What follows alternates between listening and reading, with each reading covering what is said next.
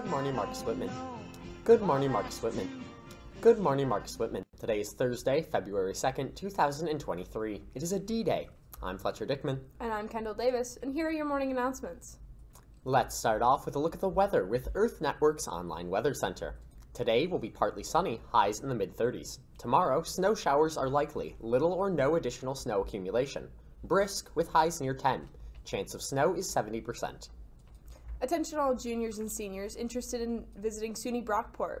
We will be visiting their campus on Wednesday, February 8th. While there, you will meet with admissions, tour campus and housing facilities, and eat lunch in one of the dining halls. All permission slips should be turned in by Friday, February 3rd at the latest. Girls varsity and modified A lacrosse will have open gyms every Sunday in February from 10 to noon.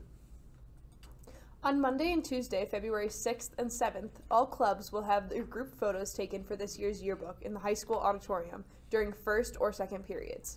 Please see your advisor for times or look at the times posted around the school.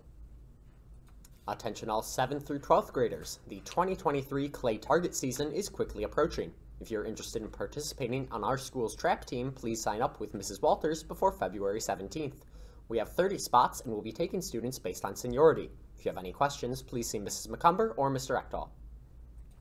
Here are today's birthdays Senior Will Gage and Abby Cornball. Happy birthday.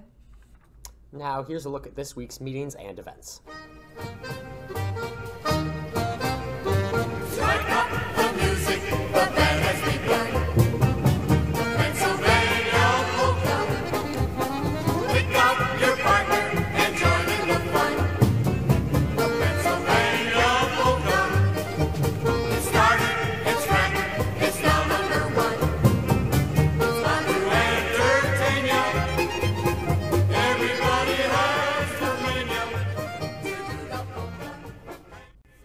That's it for today, women. This has been Kendall Davis. And Fletcher Dickman with your WCAT News. Have a great day, and as always, be kind to someone.